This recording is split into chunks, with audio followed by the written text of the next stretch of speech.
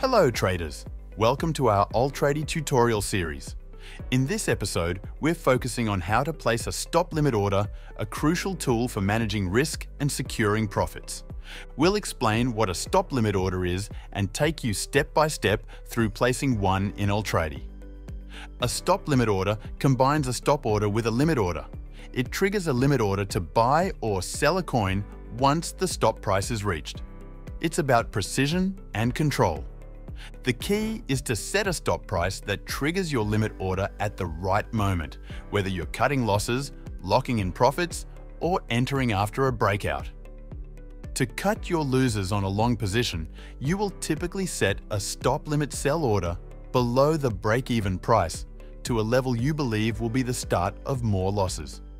Once the stop price is reached, the limit order is placed at your chosen price. It will be filled once the current price reaches your limit price. To lock in profit on a long position, set your stop loss above the break-even price. You can only do this when the current price is high enough to be able to place a stop limit order in between the break-even price and current price.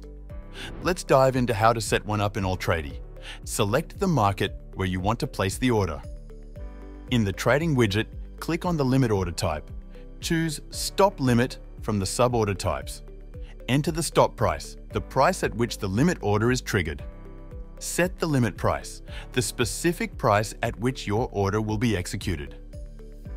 Input the amount of cryptocurrency you wish to trade.